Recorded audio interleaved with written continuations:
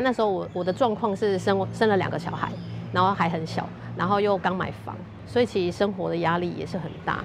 那时候还好有保险，要不然我我觉得我可能没有办法很好的呃得到休养。回想五年前，家方刚生完第二胎就发现卵巢癌，治疗之路已经很不容易，加上照顾小孩的压力，还要担心经济是否能负担。就是这些实时实付加总加重大伤病的话，那时候理赔大概呃一两百万，对，所以就是我两年的生活花费就刚好。就是依靠这些保险金去支付。其实我之前在银行工作，然后有一个客户，他也是得癌症，然后是第三期。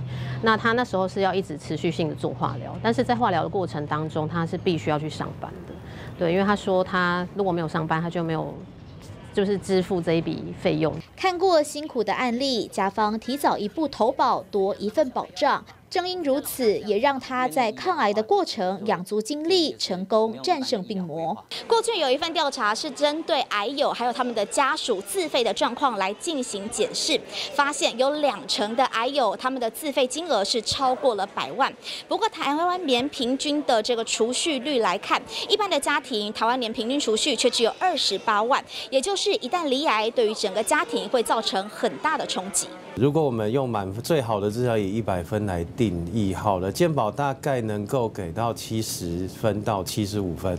如果你要更好的，就是要就是求自费了。然后至于会花到一百万的，大概有四分之一的人可能会有这种需求了。台湾的肺癌盛行率也也不算低啦，对，所以就是。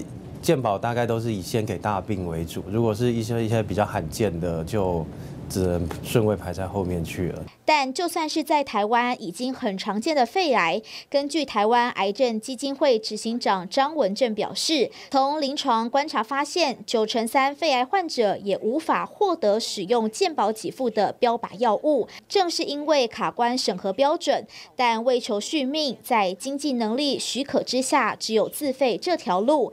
因为不管是新药或是手术特材，拜科技进步所赐，效果相对有优势，癌友。也不可能耗费几年时间等待纳入健保。其实你真的贵的药，有可能两个月你就花完这笔钱了。对，然后或者是你开刀要用比较新的一些达文西手术啊，那个可能一笔就二十万，就就花掉了。对，然后那个还没有包括后续的。化疗啊、标靶啊或放疗，为了治病，患者也想要有更多选择，但大多受限于经济能力，甚至可能为了治病压垮整个家庭。家庭经济状况好的话，也许他可能还会有一些积蓄啊、保险啊等等之类的东西进来，也许可以协助他支撑一段时间。但是这真的没有办法太久。我们会去分析说，我们会有长期照顾的问题，我们会有照顾者的问题，然后我们会有就是后续你们还有没有经济收入的问题。跟你现在投下去之后，愈后怎么样？对病患和家属来说，可能会因为心急，没有办法审慎评估。借由社工师理性的建议，能全盘考量。政府给予的协助也真的不多，要仰赖社服单位更是有限。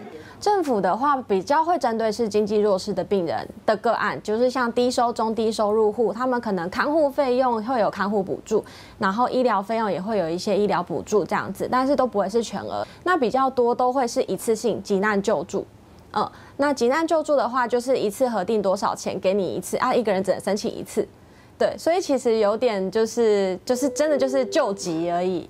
不论是政府或是社福单位能给的协助真的有限，但从政府的角度来看，如果要加速新药纳入健保，将严苛的给付标准放宽，就得面临是否要调高健保费的问题，牵涉到的层面广又敏感，要治病就成了一场残酷的抉择。TVB 新闻王华林和江谢丹词台报道。